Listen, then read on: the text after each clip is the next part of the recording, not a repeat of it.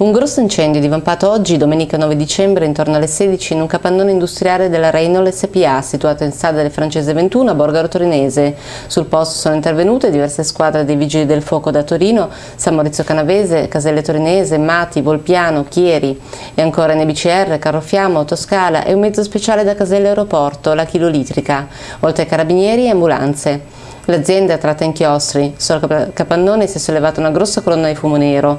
La zona è stata chiusa per sicurezza e le persone fatte allontanare, in quanto gli oli solventi all'interno hanno reso pericolose le operazioni. Diverse piccole esplosioni hanno provocato il cedimento di una parte di capannone e il rogo, dopo circa tre ore di operazione di spegnimento, è stato nuovamente alimentato dai solventi. Sul posto sono spraggiunti anche il funzionario per i rilievi e Arpa Pimonte, che ha dichiarato esserci stata un'ondata di inquinamento dovuta alle particelle volatili disperse in cielo e dirette verso la zona di Mappano, Leni, dove tirava il vento. Le operazioni sono ancora in corso e proseguiranno per diverse ore.